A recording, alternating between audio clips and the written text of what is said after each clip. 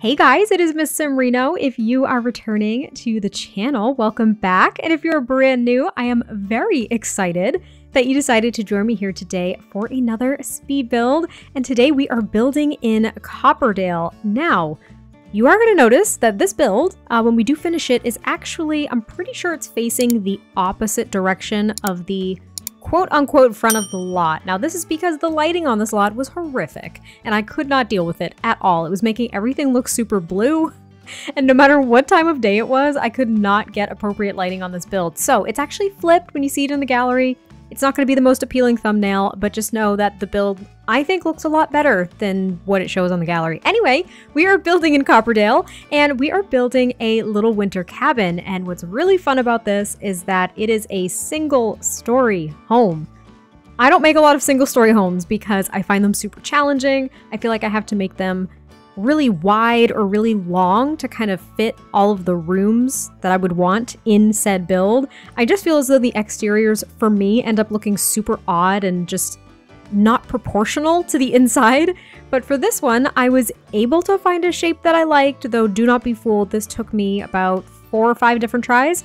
I spent maybe a day or two, I can't really remember, but I spent a day or two testing out different shapes for this build and I was getting so frustrated with myself because I couldn't find anything that I was enjoying whatsoever. I just knew I wanted to build a log cabin. I knew I wanted it to be in winter, and I think it's because not only do I struggle with single story homes, but I think I really, really struggled here because not only are the, I think it's technically considered a siding or a paneling, I can't remember, but the exterior paneling, I'm just going to call it that, is from Outdoor Retreat, and it's supposed to be like a log cabin texture, right? But it's very, very flat. So I always struggle trying to use it because I feel like the build will never look the way I want it to.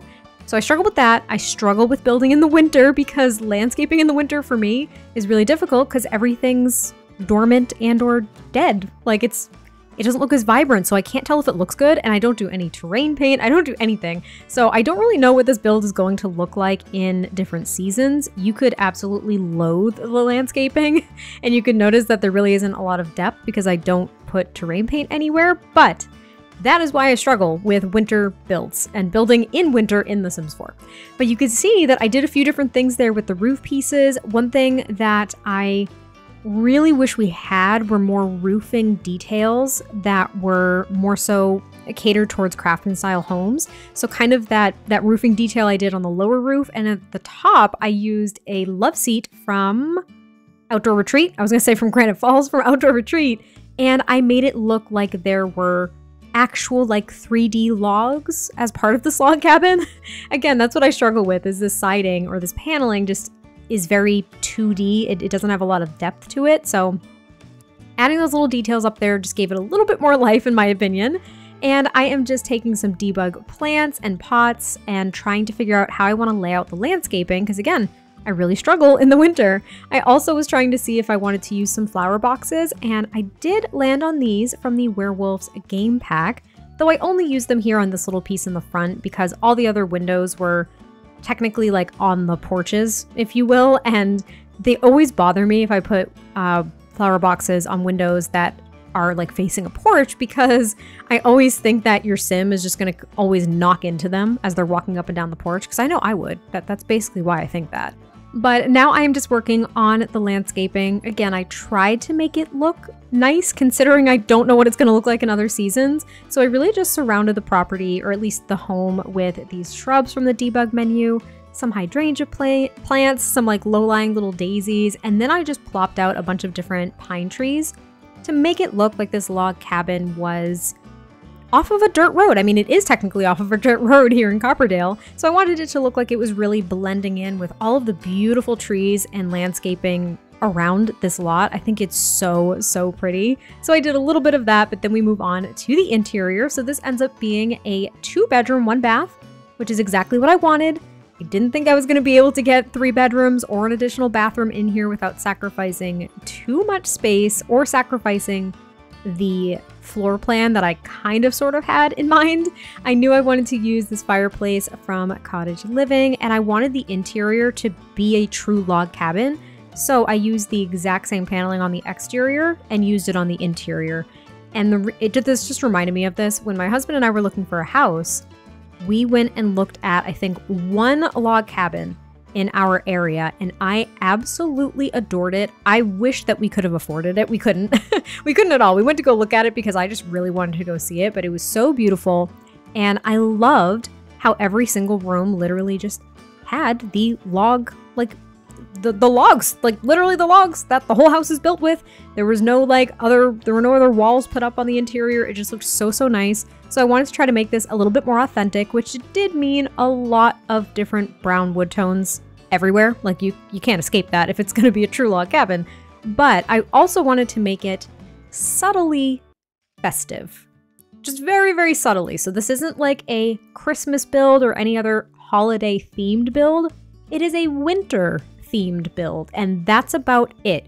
You can kind of sort of see I got the green couches and then this like red wood coffee table. That's just a coincidence because, again, just subtly festive, but I didn't decorate it for any particular holiday. So you could, of course, do that yourself. If you did download this build, you can swap out, I don't know, different swatches of items or add a few different holiday themed item if you want items if you wanted to really stumbling over my words. But this ends up being the living room and it is open to the dining room. And then there's like an archway that separates the dining space from the kitchen, which is a little bit smaller than I anticipated, but I really like how open these spaces at least feel because the rest of the home is pretty closed off. And you can see that I'm using a few different new pieces from the Everyday Clutter Kit, which I absolutely love so, so much. I may have overused it a little bit in this build, but it's just because I'm so excited about finally having a lot of those different items.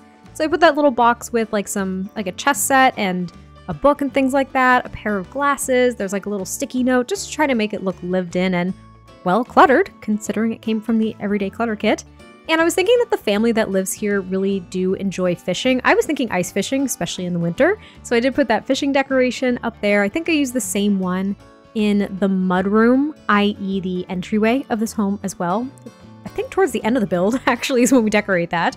But you can see that that is the dining space as well. I used those chairs from Cottage Living and they kind of sort of have a green hint to them. It's more so teal. So I wasn't going super matchy matchy, but I did try to use a fair amount of like greens and some blues throughout this home. I didn't want to do green and red because then it wouldn't be so subtly festive. It would be super festive, and that was not what I was going for.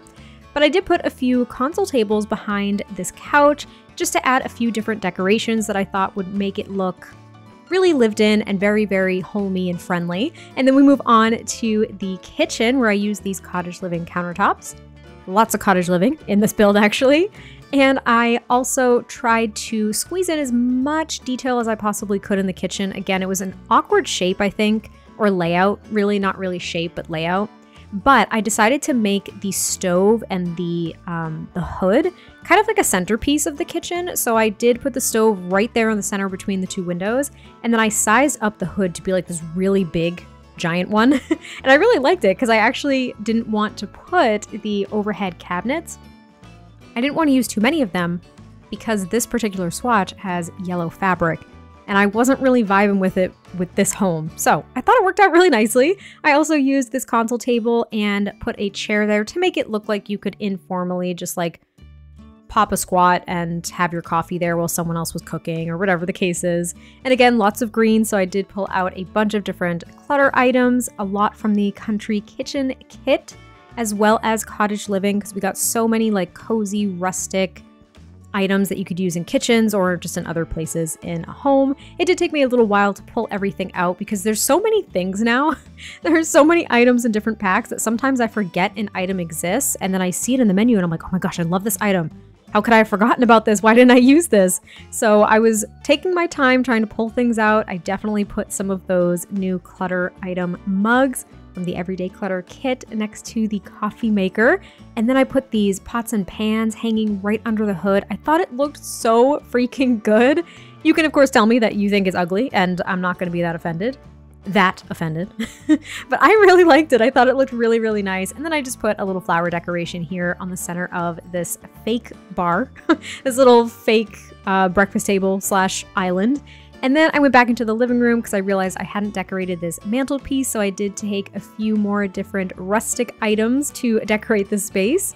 And the most festive thing that I put were these little trees in the mason jars that were from, I think, the holiday update, which is technically considered base game a while ago. I don't remember when that happened.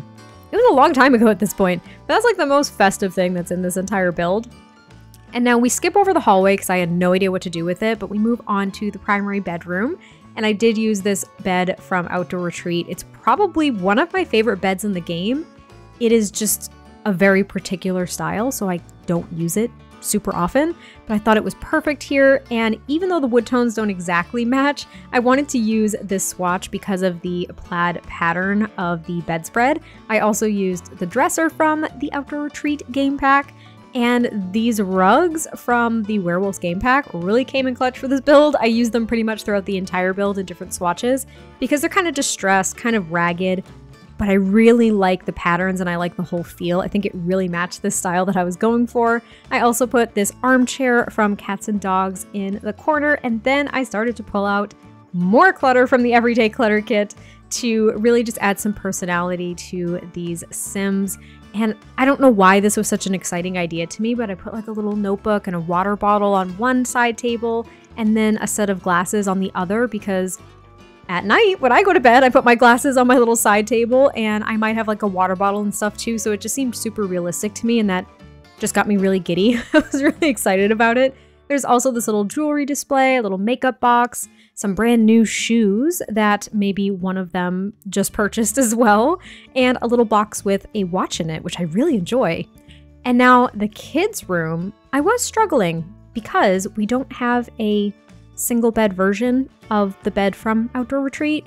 And I really, really wanted to use the patterns from a few different cot-like beds that we had. I was thinking, oh, maybe I can like size it up and like mesh it into another bed, but I knew that wasn't going to work. So I started to try different swatches of different beds. And then I thought, why don't we get two kids in here instead of just one? So I pulled up this base game uh, lofted bed and then just decided, you know what, these are going to be bunk beds. They're going to have the exact same bedspread. It fits the theme. It matches. It's going to be a cramped room. It is what it is. So that's what I ended up doing. And I gave them the exact same dresser. And then I added the little like Bigfoot toy from the little campers kit, which I really like, as well as the creativity table. And then I just went nuts decorating it as I typically do with kids' rooms. And I'm thinking that these kids are right on the edge of being like a preteen, or maybe one of them is more so a child and the other one is kind of a preteen. They're gonna have to share a room forever, which is a little bit difficult if there's an age gap in any capacity. Um, and it's to be more difficult as they become teenagers. I'm assuming teenagers wouldn't like having bunk beds with one another, like with their siblings, but maybe that's just me. Some people might love that. Anyway, it's a very cramped room, and I do decorate it though. I, I put a ton of like posters on the wall. I also put the little height chart on the door because I thought that was cute. And then again, I use a ton of like um, the stuff from the Everyday Clutter kit, kit as well as the uh, high school years expansion pack. There's a few different items in there that I thought really kind of fit what I was envisioning for these kids.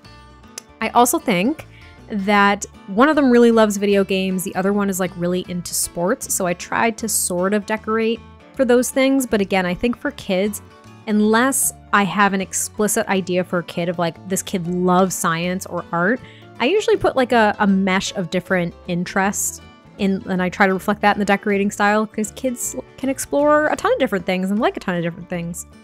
But that is pretty much it for the kids' room. And then we just end up decorating the hallway really quickly, as well as the bathroom, which I don't even think I have screenshots of. My bad. Think I completely forgot. And then we also decorate the mudroom. Because outside, like I said, I don't do a ton of landscaping. I think I put like a fire pit out there with a few different like log seats just to, you know, be on brand with the build. But that is pretty much it for the build. So I hope you all enjoyed this one. I cannot wait to hear your thoughts and I will catch you next time I post a video and I'll talk to you soon. Bye.